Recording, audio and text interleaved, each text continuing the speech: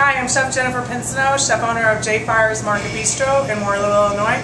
Today for the seafood feature, I'm going to do seared scallops with a flounder, uh, with risotto, a really nice um, seafood, fennel, tomato broth, and a green onion and balsamic.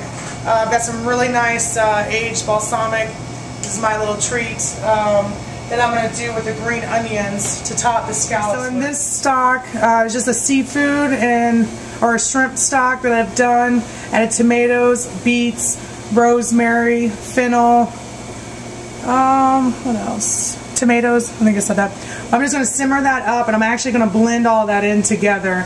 And then uh, over in this pot is the green onions this is just going to stay and we're just going to caramelize and cook these down. And at the very last, I'll put in the balsamic. Okay, so we've got um, Swiss chard. I'm going to also just saute up a little of this and put that in the um, seafood feature. But I'm just going to show you real quick of how we work with it.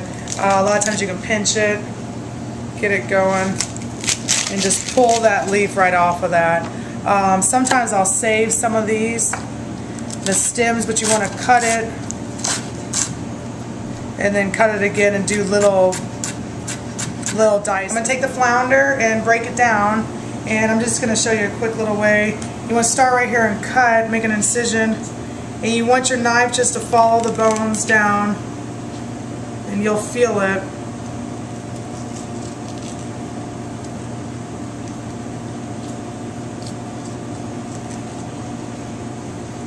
Flounder is one of the trickier fish to fillet, so I you don't even want to mess with it. Just buy it already filleted up.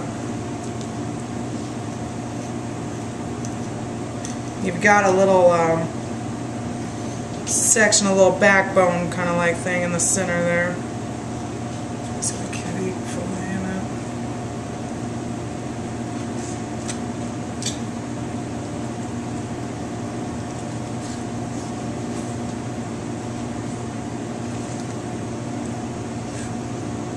And then when you have this piece, the way to get that skin off of there is just to go straight down between the skin and the meat. And that's something else you want to have a flexible knife that you can kind of feel through.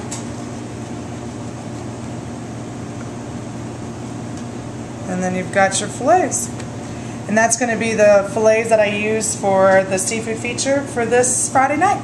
Okay, so right now I'm working the risotto. Uh, I've just got the rice and a little bit of butter in here. I'm going to toast it up. And then you add the chicken stock, any kind of stock that you want. You're going to consistently stir. You do not want to stop stirring. So we got a great, we're going to do a really nice sear with these scallops. I'm going to start those first and then we'll do the flounder. On this pan, it's just got a little bit of that sauce with the risotto. a nice creamy risotto when you're finishing it, you really never want to stop it.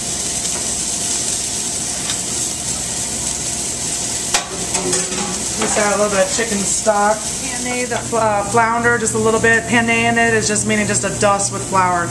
You don't want a whole lot of flour to stay on it.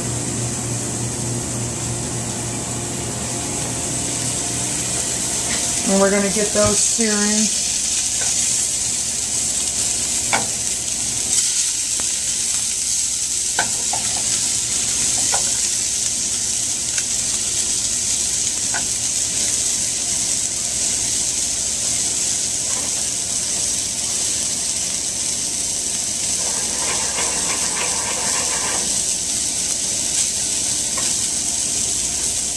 Then with this pan, we're going to do the Swiss chard, which here's those little um, stems that I had. Start that. Take a nice handful. a little rice wine vinegar. I like to incorporate a little sweetness. And just a pinch of salt. You want to watch the salt because when that reduces down, it will become too salty.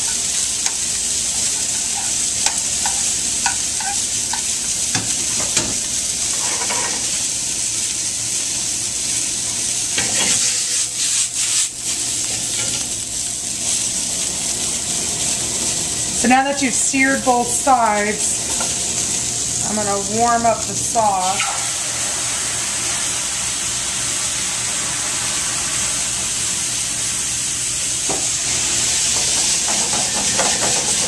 Just kind of stew that down a little bit.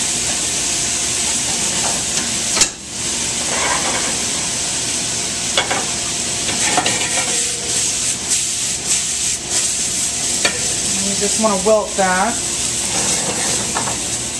Okay, and then to plate up, put the risotto down.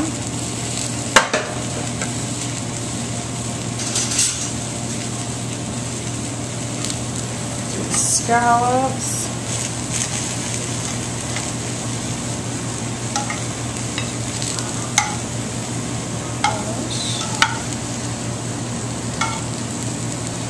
That sauce that I warmed up in there.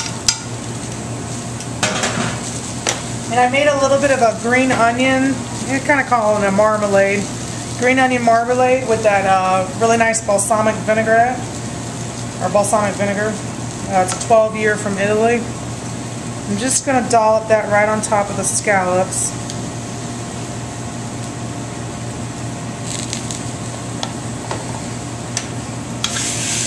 Got the Swiss chard to go right up on top.